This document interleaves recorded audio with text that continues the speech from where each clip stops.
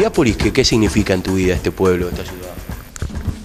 Eh, Piriápolis para mí, eh, todo, futbolísticamente, eh, fue mi vida. Llevo 28 años en la institución y bueno, y sigo en ella, o sea, nunca me fui de acá y para mí fue mi vida. Cuando miras para atrás en el tiempo, ya hay jugador de fútbol, ya fue. ¿Se pasó todo muy rápido? Eh, sí, creo que sí. Eh, las ganas de seguir jugando siempre están y yo sigo con los muchachos acá entreverado y si no fuera por la parte física, este, estaría jugando porque las ganas siempre van a estar. ¿Quién es el primero que te lleva a jugar al fútbol, a, un- a una canchita de béisbol o a jugar a un equipo de béisbol? Yo empecé tarde, empecé a jugar a los 10 años al fútbol porque yo no soy maragato, soy de San José y, y no tenía, cuando recién llegué no, jugaba, jugaba solo al cordoncito en la calle y después un vecino, Julio La Rosa, tenía un cuadro de fútbol y ahí empecé a, hacer mis primeros pasos en el fútbol. Después hubo otro cuadro que era el Toro, también jugaba en ese. Y después se fusionaron los dos, que fue cuando empecé a jugar oficialmente a los 10 años, este, que eran los campeonatos de body que se jugaban con los cuadros de Maldonado. Y ahí eh, me imagino, por ejemplo, tu sueño, ¿qué, qué comenzó a hacer? ¿Jugar en un equipo de Montevideo? ¿Llegar a la selección de Maldonado? No, te digo, la verdad que no, no, lo mío era el momento, jugar, pasar los fines de semana con mis amigos y jugar, pero no, nunca me puse ninguna meta desde chico. Lo, que quería cuando tenía 12, 13 años era jugar en Piriápolis y tratar de, de la- la- llegar a jugar en las inferiores. Y bueno, y el paso por inferiores fue muy rápido también, este, estuve un par de años jugando en inferiores y ya después ya estuvimos los planteles grandes, o sea que no, tampoco disfruté mucho de mi generación. Tampoco te imaginabas que ese primer paso en las inferiores de Piriápolis te iba a hacer recorrer toda tu, tu trayectoria acá en esta casa. No, no, por supuesto. eh, acá hay historias en, en, en Piriápolis que, con grandes jugadores que vinieron a, a participar de, de los campeonatos de acá, inolvidables. Este, entonces, ¿cómo olvidar de esas cosas, no? de, lo que se vive, las vivencias del fútbol, que son, al que conoce un poco, o el que tiene vestuario, o el que tiene años en esto, es difícil de explicarlo, ¿no? Pero son cosas inolvidables.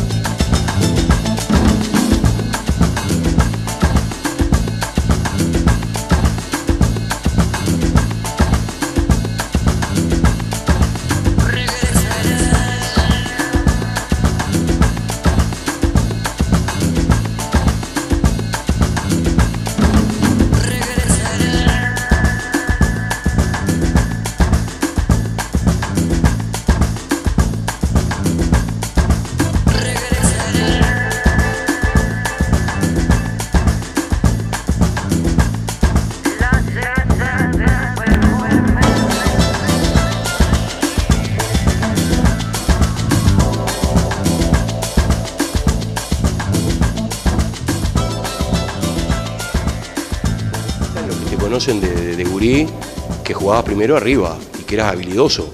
Este, y que después este, un poco para atrás, un poco para atrás. Sí, yo en baby full era lateral izquierdo. En inferiores, eh, antes de jugar, antes de debutar en inferiores, debuté en tercera división porque estábamos entrenando en inferiores y el técnico, este, que era el de primera división, que era Tito Sosa, vino a pedirle al técnico de inferiores, que era chiquito Balaguer, este, algunos valores para subir porque la tercera, que era la tercera, no, no tenía jugadores. Entonces éramos tres, nos subieron los tres y jugaba de punto izquierdo en tercero. Tenía 13 años. No podía con la pelota. Y, no, te marcaban eran enormes, eran enormes. Sí, sí, no tengo muchos recuerdos de, de- de ese año mismo, pero yo me acuerdo que otro técnico que tuve, que fue Aníbal Romero, eh, lo tuve como técnico, él jugaba en primera división y, y siempre me hacía la anécdota de que cuando me miraban con los compañeros de primera, decía, "Usted, chiquito no va a poder con la pelota. Y no, y bueno, te, vas haciendo después con los hombres. Yo estuve ese año en tercera, el otro año hice inferiores y el tercer año eh, tuve la suerte que el técnico de primera división yo lo tuve en baby fútbol. Entonces eh, Tito Sosa llamaba y me, dijo Aguirre, dice, me va a tener que dar una mano en su viejo puesto de baby fútbol, de lateral izquierdo. Y bueno, ahí empecé, jugué dos años de lateral, y después fue como cinco años de, de 10. Y después como no, al otro año no teníamos, no, el plantel no tenía defensa, me planteó Aníbal Romero, como yo era un volante con marca, y me empezó a, a tirar más para atrás, más para atrás, hasta llegar a jugar el Aguirre. Eh, la primera selección juvenil fue. Sí, en las juveniles, en las juveniles este, estuve con Mulita Álvarez, salimos campeones del Este, que estaba eh, Gabriel Cedré, había un buen cuadro este, y jugamos un campeonato del interior en Mercedes, nos quedamos una semana en Mercedes y también de esas selecciones estamos en contacto con, muchos jugadores, con Raúl Melián, Carlos Agriela, Fernando Falla, Fabio Nocetti, Frolini, Enio Ramos, toda una generación preciosa de muy, muy buenos jugadores.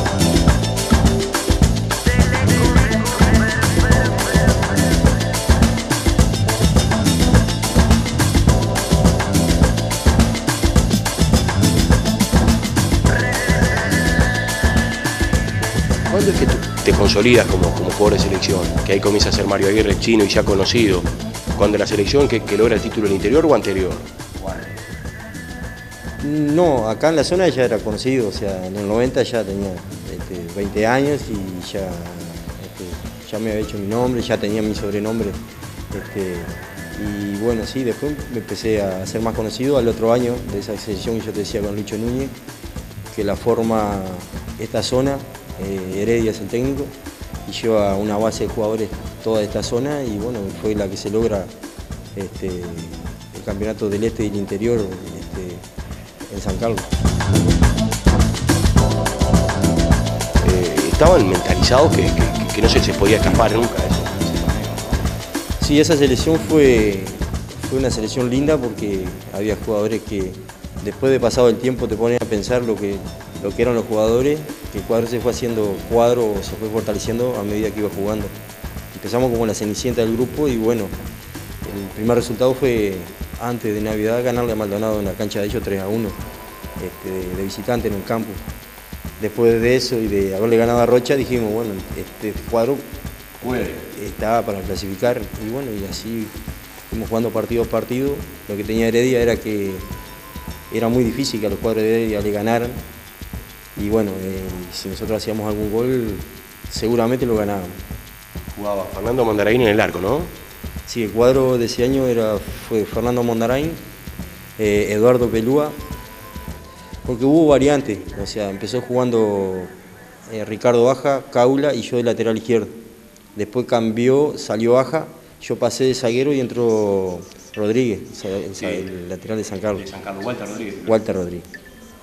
después era Camacho, eh, Gori y Fernando Ferreira en el 5, que era de Tabaré. Y arriba alternaban, o sea, jugaba Eduardo Bonilla, que salió goleador de ese campeonato. lamentablemente fallecido. Otro, además un fenómeno. Eh, Juan Macedo y Claudio Pino, que eran todos de Tabaré. ¿El Pato Ruiz no jugaba también en esa? Henry Ruiz, sí, jugó una cantidad de partidos, pero él lo que tenía, se nombraba más porque cada vez que entraba hacía goles. Pero él alternaba. alternaba alternado. Cuando, no, cuando faltaba uno de los de arriba, él jugaba siempre. ¿Cómo fue la, la historia de Gori, que recién lo mirábamos en una foto? ¿Fue el que te enseñó a vendar el petizo, que era un fenómeno? Sí, sí, el petizo fue un fenómeno, mamá, de, también de esa época ir a ver a Hipólito, a, a Gori, y eso yo lo conocía de antes en la juveniles, él recién había venido de, de Mandillú o algo a jugar a Punta del Este y, y para mí era una máquina corriendo. Y bueno, entonces un día estábamos en el vestuario antes de un partido, porque en las prácticas nos vestíamos todos nos estamos vistiendo todos juntos, y me, mira y me dice, oh, Guri, vení. Y dice, ¿qué bueno, no te vendás? No, dice, no, no, va a pensar vendarte. Y sacó unas vendas viejas que tenía. Seguro, las vendas de 7 centímetros, las, viejas 5 centímetros. Y me empezó a vendar y yo no le decía nada, pero me apretaban. Cuando terminó el primer tiempo, me, sí, sí, me la tuve que sacar, pero un dolor tenía en las piernas. Y bueno, pero gracias a él después me compré las vendas él me enseñó a vendar y, hasta que terminé mi carrera siempre he vendado. Protegía más los tobillos.